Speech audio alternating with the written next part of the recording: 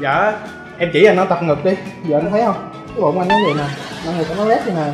Người em nó gớm rồi Giờ anh muốn tập sao mà cho ngực nó bự ra vậy nè. Nó Mà cái cái bụng anh nó Nó hấp vậy nè. Đó nhìn người anh cho nó đẹp vậy đó Chỉ anh với anh nhìn em đi.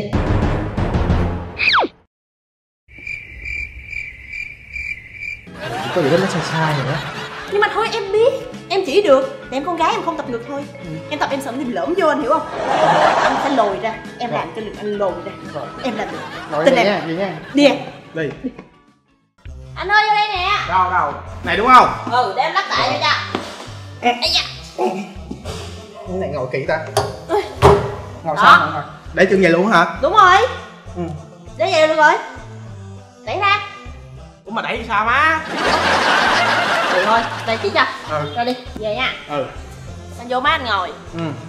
Cái chân lỏng bỏng này không được đúng không? Ừ. mạnh ra. Bành ra hả? Mất thẩm mỹ má ơi. Để nó. Có gì đâu mà ngại. Đi tập mà. Ừ. Đẩy ra đẩy Ừ. Nín thở đẩy. Nín thở đẩy. Ok nhớ nhớ rồi. Chừng nào đẩy xong rồi mệt rồi nghỉ thở. Là tức nghĩa là mình nín thở mình đẩy khi nào mà mình hết Mình cảm thấy mình không chịu nổi hết nữa. hơi rồi nghỉ. À, Hết hơi rồi nghỉ. Thở đẩy tiếp.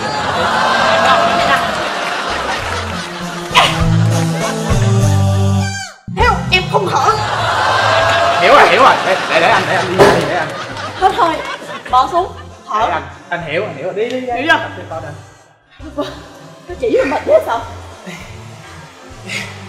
Lên hành chân ra hành chân ra trong đó hành chân ra cái này. Bên này không? Đúng rồi. Nín thở nha. Nín thở Hít lấy lấy hơi đúng không? Lấy hơi. Rồi.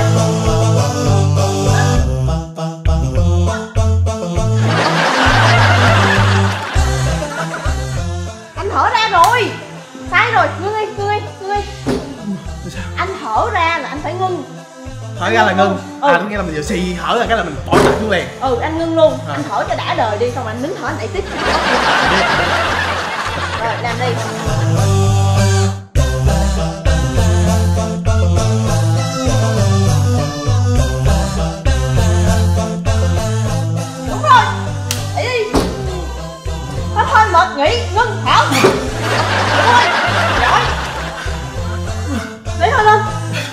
Ừ ừ